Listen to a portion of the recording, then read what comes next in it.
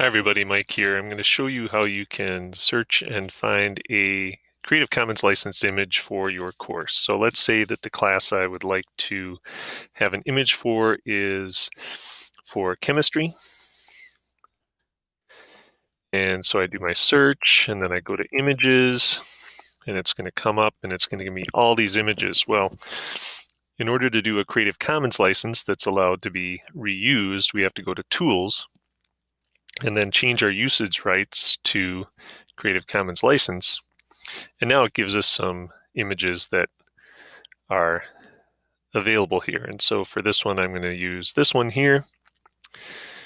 And now I can save the image. And I'll put it in my pictures in my course. And I can go to edit picture on the image, attach the file, select the pictures folder wherever you put it and select the image. And once it uploads and you see it over here, you can just close that window and your image is set. That'll make it a lot easier for students to know which course is which in Schoology. Thanks and have a great day.